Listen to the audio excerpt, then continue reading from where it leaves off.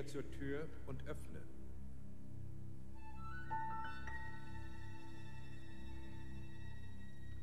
Draußen steht ein Mann in dunklem, unauffälligem Zivil.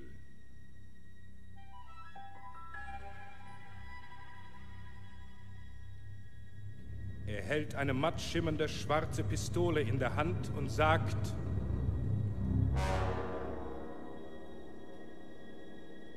Nehmen Sie die Hände nach vorn.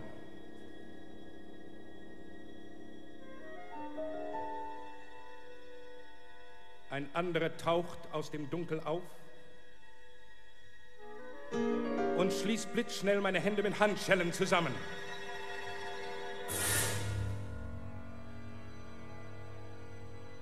Ich stehe starr und unbewegt.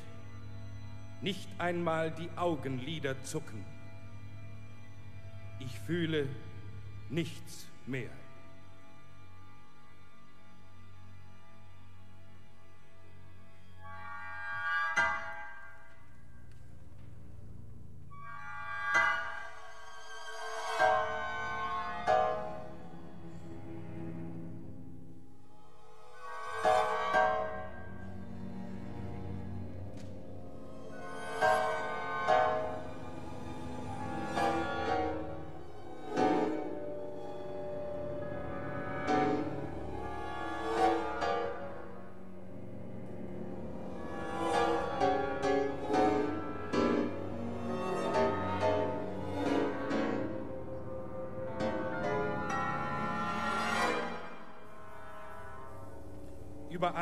Sind Gitter. Aber ich sehe, dass diese Gitter nur Schatten sind und dass sie ausweichen, wenn ich hindurchgehe. Ich höre die Blätter rauschen. Doch nirgendwo ist ein Baum. Nirgendwo ist ein Wind.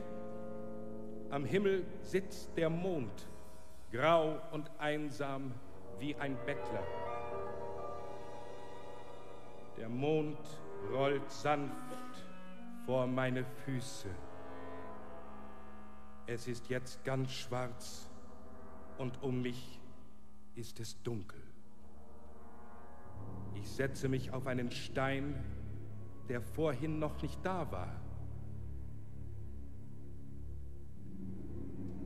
Ich habe das Gefühl, dass es hier kein Entrinnen mehr gibt. Ich bin gefangen. Ich kann nicht mehr heraus. Hinter jedem Gitter wächst ein anderes.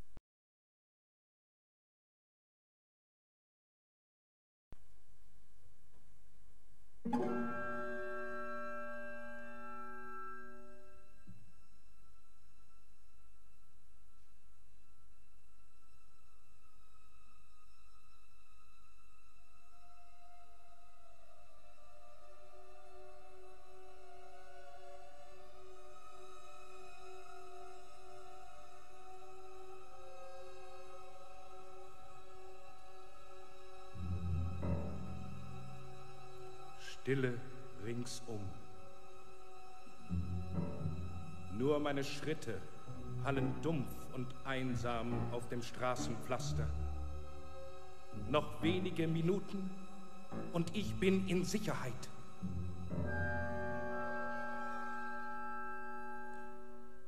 Ich blicke scheu nach vorn.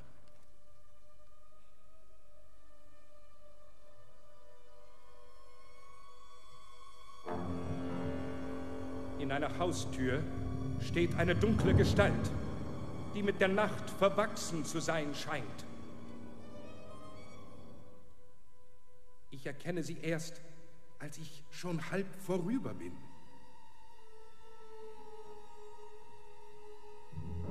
Ich gehe schneller.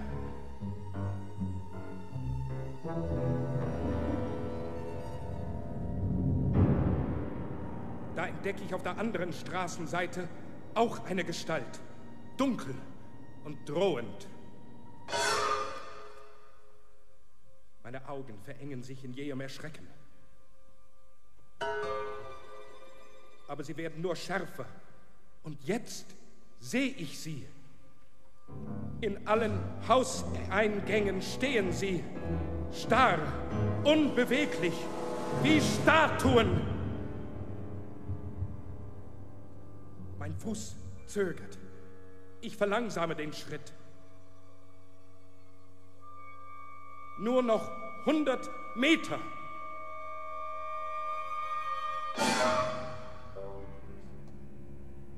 Von überall kriechen sie hervor. Aus den Hauseingängen, aus den Fenstern, aus den Wänden, aus den Rindsteinen, aus dem Straßenpflaster. Nur von dort, woher der Lichtschein dringt, kommen sie nicht.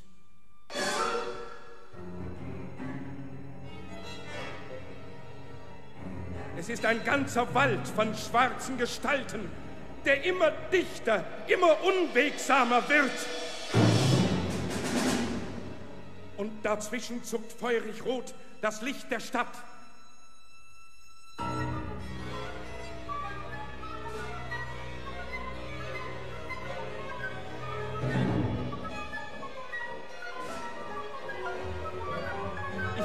Laufen, schiebe mich zwischen ihnen hindurch, halte meine Hände weit ausgestreckt und bahne mir so einen Weg durch das Dickicht der schwarzen Formen. Nur noch wenige Meter, ich bin schon ganz nah, ganz nah, ganz nah!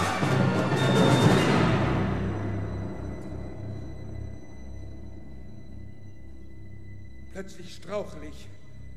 Meine Hände greifen ins Leere, ins Unbekannte.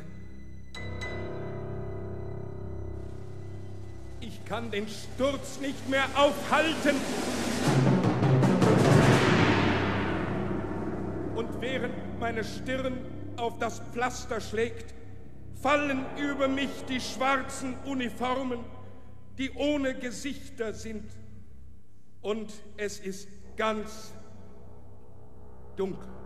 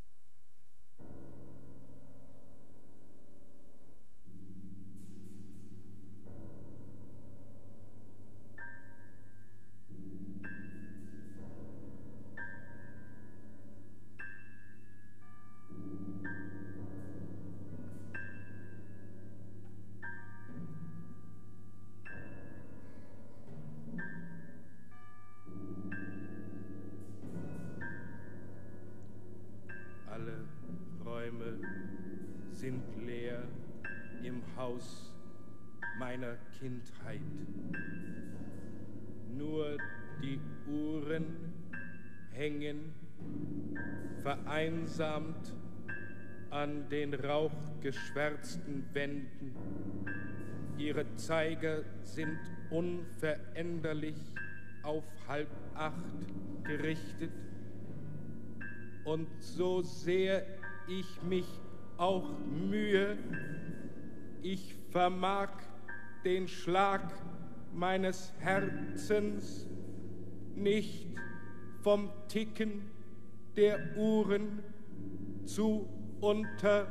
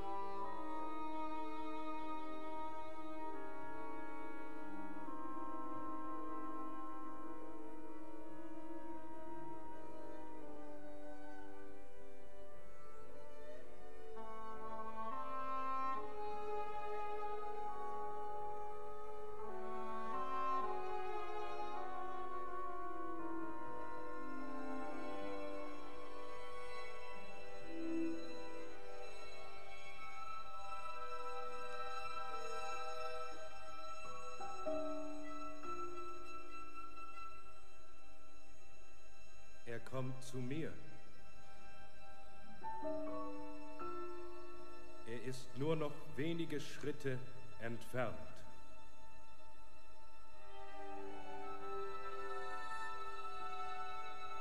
Gleich wird er sich umwenden.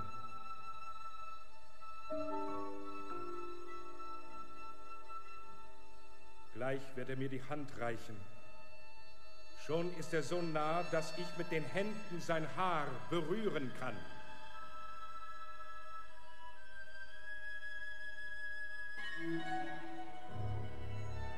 Aber es ist nicht sein Haar, das weich und moosig und duftig war.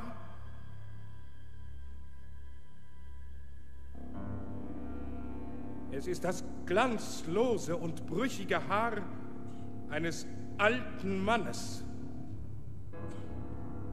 Er wendet sich um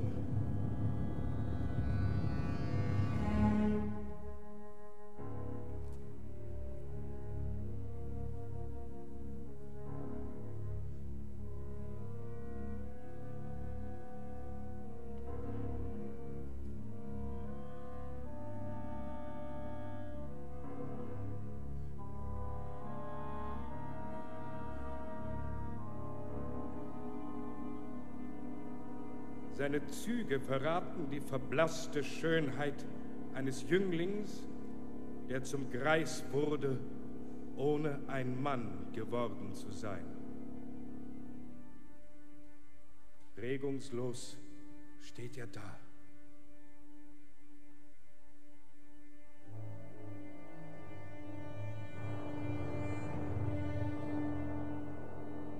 Über seinen mageren Körper ist das schwarze, hässliche Gewand des Gefangenen gehängt. Weiß schimmert die Haut hindurch.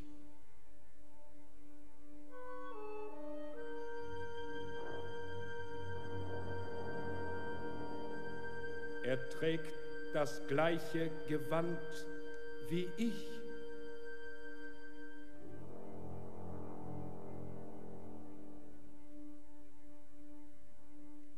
Ist mein Bruder.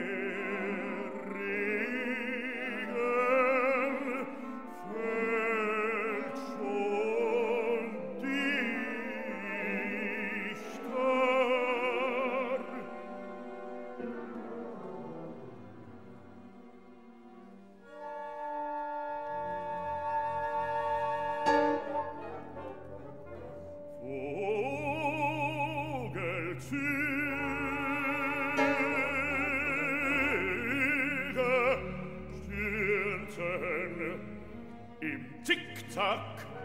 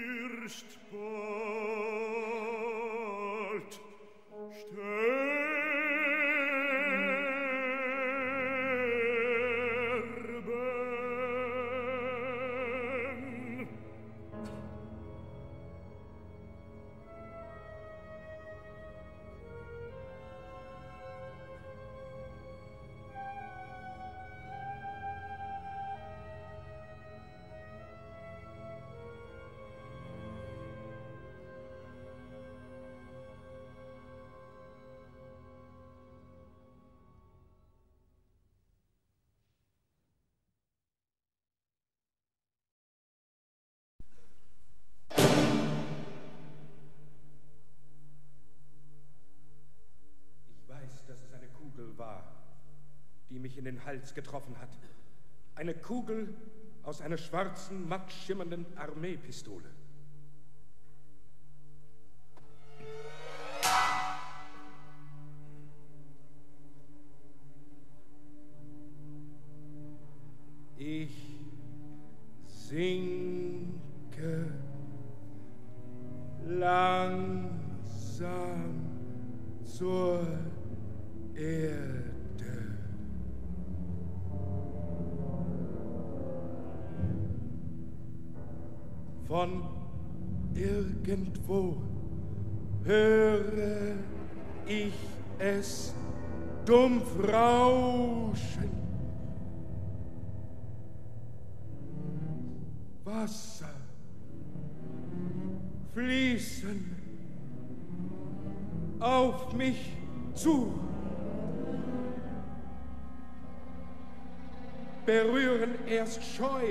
Mein Gesicht, dann überschwemmen sie mich. Meine Augen sehen nichts mehr, nur Wasser. Meine Ohren hören nichts mehr, nur Wasser. Meine Zunge fühlt nichts mehr, nur Wasser.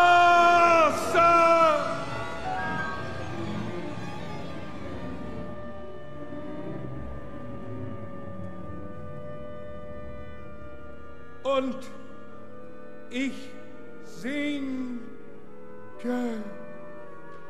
immer noch.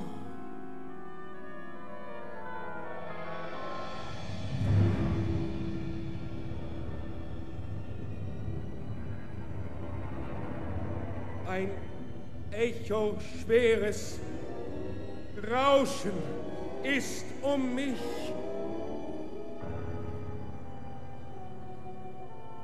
und mein Körper wird immer leichter, obgleich ich doch sinke. Ich bin ein Fluss, ich zerfließe. Ich bin ein Strom, ich entströme.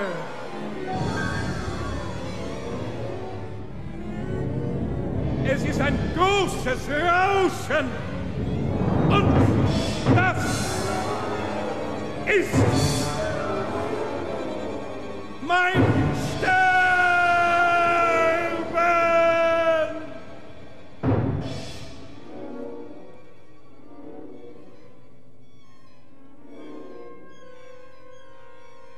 Keine Erinnerung ist mehr.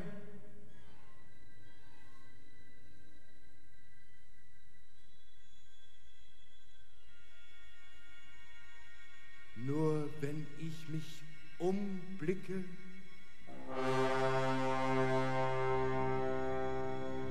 sehe ich meine Fußspuren blutig rot im Sand am Grunde aller Ströme.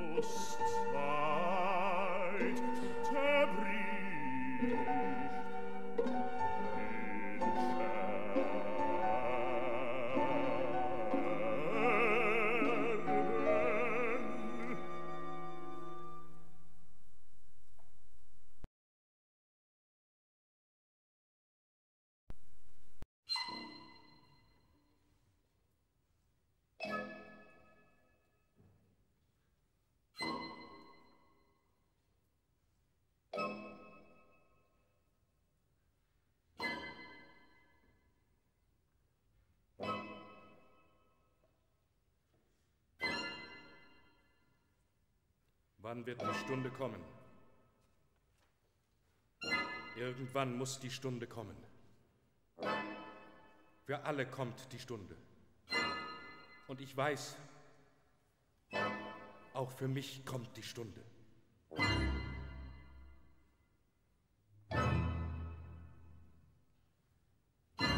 Sie allein kommt. Die Stunde kommt. Niemand sonst.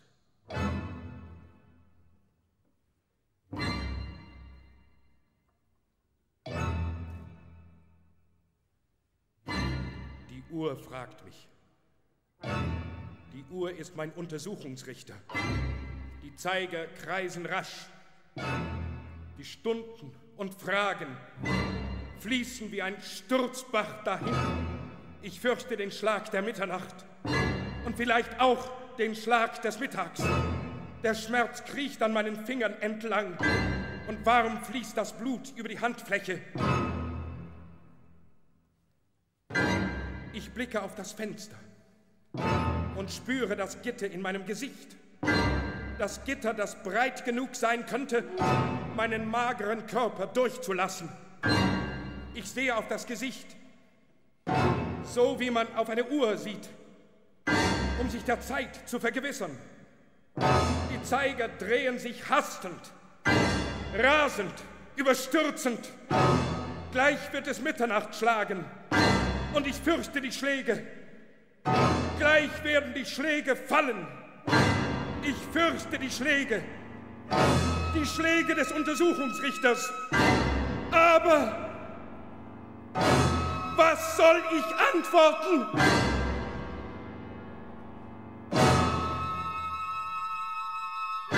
Ich springe auf, stürze nach vorn und zertrümmere mit den Fäusten die bleichgesichtige Uhr.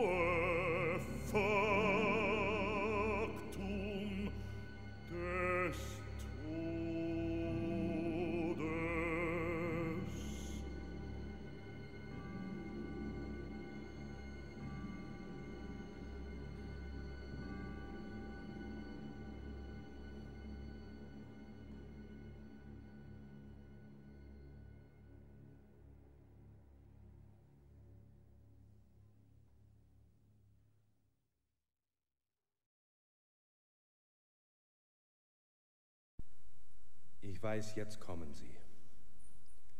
Es hat keinen Zweck mehr zu fliehen. Sie sind schon ganz nah und haben blutgierige Hunde, die nach meiner Kehle lechzen. Und während sie näher kommen und ihre Maschinenpistolen auf mich richten, gehe ich ihnen die letzten Schritte entgegen. Meine Stirn stößt gegen den Himmel.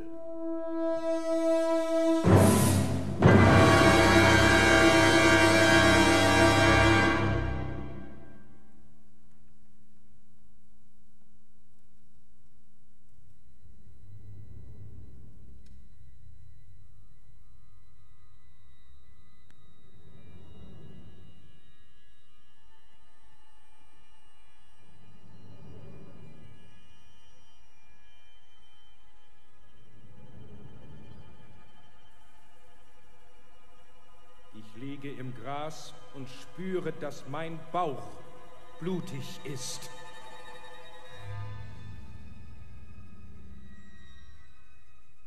Ich weiß, dass jetzt alles vorbei ist und dass bald die roten Käfer kommen, die durch das Ohr und den Mund und die Nase in mein Hirn eindringen werden. Wildschweine werden in meinen Eingeweiden wühlen und die Ratten sich ihr Nest zwischen den Schenkeln und in den Achselhöhlen bauen.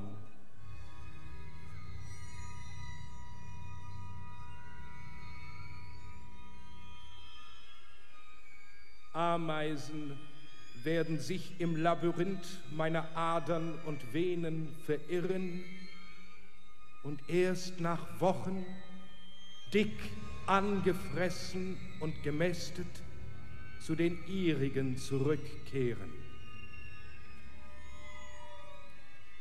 Der Skarabäus wird an meinen toten Augen nagen und auf meine Netzhaut fallen die Konturen eines kunstvoll gebildeten Tierleibs.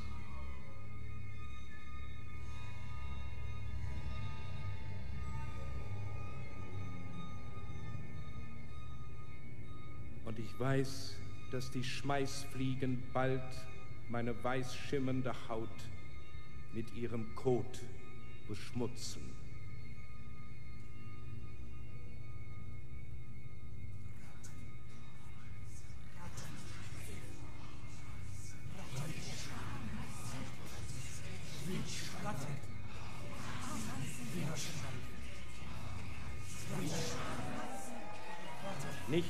Nicht lange und alles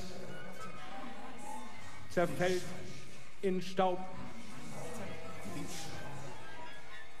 Und nur noch ein Geruch wird von mir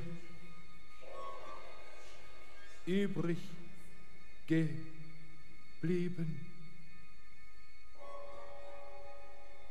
Sein.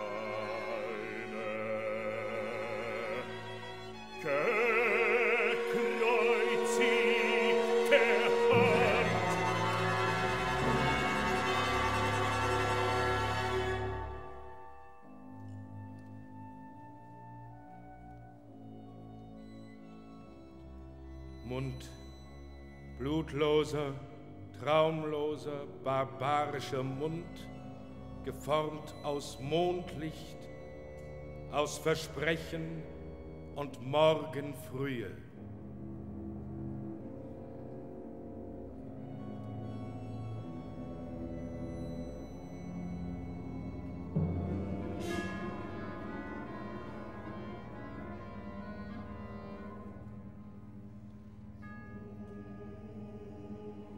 Mund, halb verweht von den Winden, die der greisen Stadt Memphis entkommen sind. Mund aus kaltem, verwirrenden Metall, das von den freudlosen Schatten mythischer Vögel verdunkelt wird.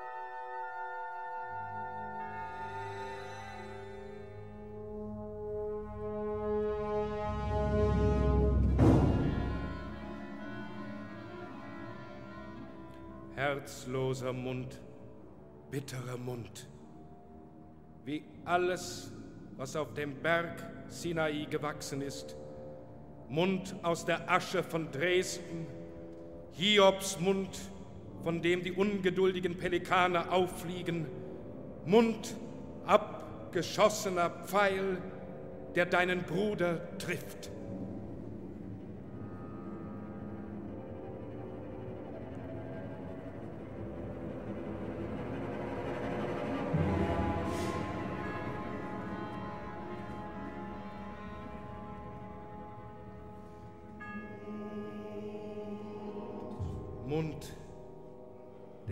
Nächten, die schweigend und tragisch sind, schmilzt. Mund verbrannt von den Feuern, die von den Sternen tropfen, wenn du einsam bist. Herberge und Gefängnis.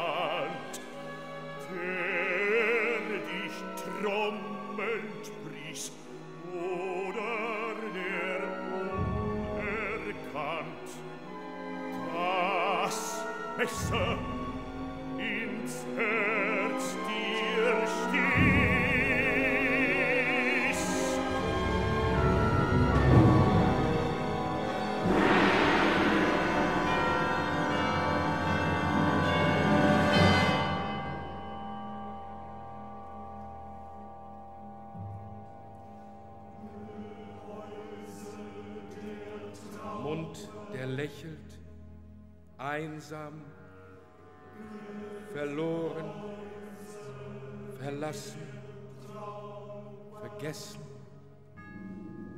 versiegend, verwesend, Mund, der nur noch träumt,